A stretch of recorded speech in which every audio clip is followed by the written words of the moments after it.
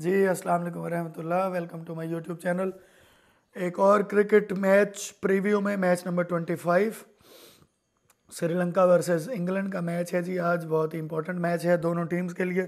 दोनों टीमें तीन तीन मैचेस हारे हुए हैं। इंग्लैंड अभी साउथ अफ्रीका से भी हारा है अफ़गानिस्तान से भी हारा है, और और किससे हारा हुआ है? इंग्लैंड न्यूजीलैंड से भी हारा हुआ है। तो तीन मैच बैक टू बैक हार चुके हैं। तो इंग्लैंड के लिए बहुत ज़रूरी है कि कम बैक करना। यहाँ से एक मैच वो जीते बांग्लादेश के ख़िलाफ़ Sri Lanka on the other hand South Africa से भी हारा है, पाकिस्तान से भी हारा है और ऑस्ट्रेलिया से भी हार गया। अभी एक मैच वो जीते हैं रिसेंटली वो मेरे ख्याल नेदरलैंड से जीते हैं।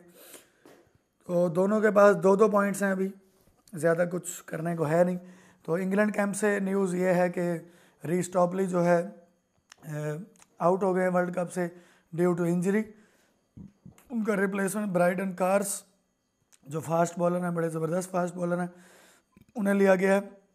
और इंग्लैंड के कैंप की बात सुनाऊँ आपको तो बेन स्ट्रोक्स भी जो है फॉर्म में नहीं नज़र आते हैरी ब्रोक भी नज़र नहीं आते डेविड मलान ने 140 ज़रूर मारा था, लेकिन उसके बाद वो ख़ास परफॉर्मेंस दे नहीं पाए। उसके बाद जॉनी बेरिस्टो हैं, उन्होंने भी एक 50 प्लस स्कोर ज़रूर किया लेकिन वो ख़ास स्कोर नहीं कर पा रहे, पता नहीं क्या मसला है उनके साथ। कॉन्फिडेंस का कमी है या कोई वो है जॉस बटलर भी एक मैच में सिर्फ़ स्कोर मारा था बांग्लादेश के ख़िलाफ़, उसके बाद वो नहीं कर पा रहे स्कोर और on the other hand Sri Lanka is clicking very well लेकिन उसका जो बॉलिंग अटैक है वो ख़ास नहीं है। मतलब ख़ास तो है, लेकिन वो परफॉर्म नहीं कर पा रहा। पथरियाना जो उनके सलिंगी एक्शन वाले बॉलर हैं, वो आउट ऑफ़ वर्ल्ड कप हो गए इंजर हो गए हैं।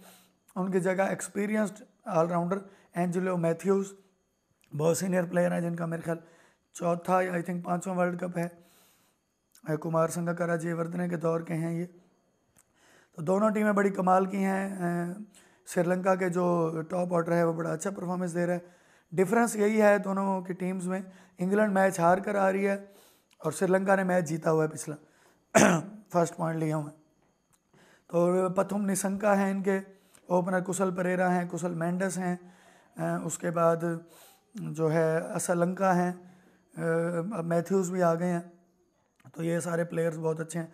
ऑन द अदर हैंड अभी मोइन अली नहीं थे पिछले मैच में बैन स्ट्रोक्स खेले, लेकिन वो भी रबाडा की बॉल पे आउट हो गए।